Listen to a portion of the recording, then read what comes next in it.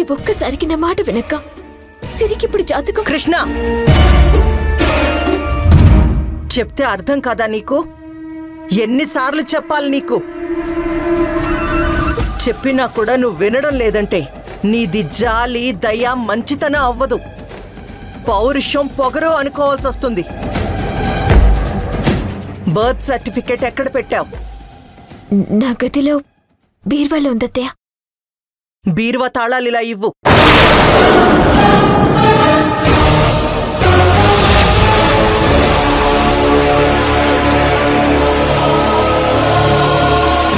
ఇలా ఇవ్వు కృష్ణ.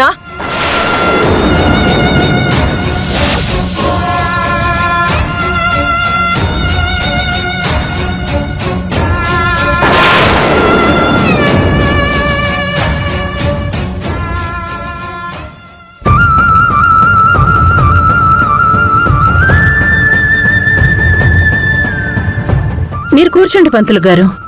ప్రశాంతంగా కూర్చునే పరిస్థితి లేదని అర్థమైందమ్మా. పర్వాలేదమ్మా.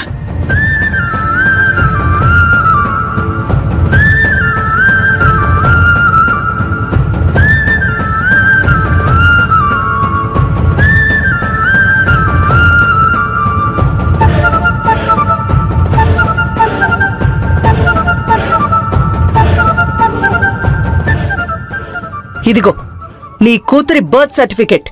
అమ్మగారి జాతకం కూడా ఉందమ్మా. మీ అమ్మగారు మీ అక్క బిడ్డ ఇద్దరూ ఒకే రోజు ఒకే ఘడియలో పుట్టారు.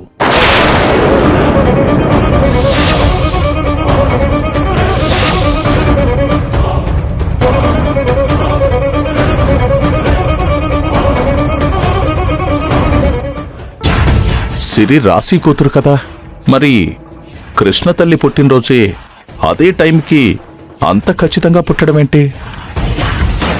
ఈ రెండు జాతకాలు ఒకేలా ఉన్నాయి?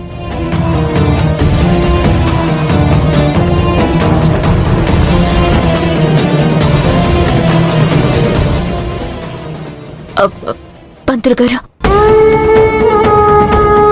మా అమ్మ పుట్టిన టైంలోనే మా అక్క పాప పుట్టడం అనేది పెద్దగా ఆలోచించాల్సిన విషయం కాదండి. సిరి పుట్టిన టైంలోనే నాకు కూడా బిడ్డ పుట్టింది. నా బిడ్డ కూడా అదే కడియలో పుట్టి చనిపోయింది. అవును పంతులు గారు. మా కృష్ణ రాశి ఇద్దరు ఒకే రోజు ఒకే టైంలో డెలివరీ అయ్యారు. దురదృష్టం కొద్దీ కృష్ణ బిడ్డ చనిపోయింది. సరేనమ్మా. నాకు రెండు రోజులు టైం ఇస్తే జాతకం రాసి తీసుకొస్తాను. వెళ్ళొస్తానమ్మా.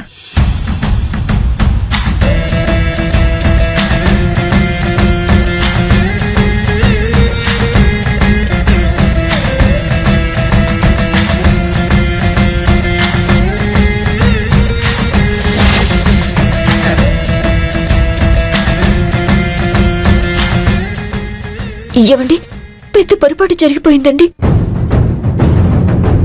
మా అమ్మ జాతకాన్ని పొరపాటున సిరి బర్త్ సర్టిఫికేట్స్తో కలిపి పెట్టినట్టున్నాను. సిరి గురించి అందరికీ తెలిసిపోయేలా నా చేతులతో నేనే సాక్ష్యాల్ని అందించినట్టయింది. పంతులు గారి దగ్గరున్న జాతకాన్ని మనం మార్చేయాలండి. లేదంటే సిరి మన బిడ్డే అని తెలిసిపోయే ప్రమాదం ఉంది.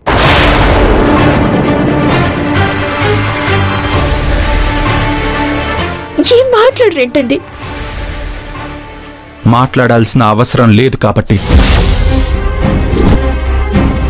ఆ దేవుడి దయ వల్ల అంతా మంచి జరిగింది. నువ్వు దాచిపెట్టిన నిజాన్ని ఆ దేవుడు అందరికీ తెలిసేలా చేయాలి అనుకున్నాడేమో. అందుకే సిరి పుట్టినరోజు మీ అమ్మ పుట్టినరోజు ఒక్కటే అని అందరికీ తెలిసింది.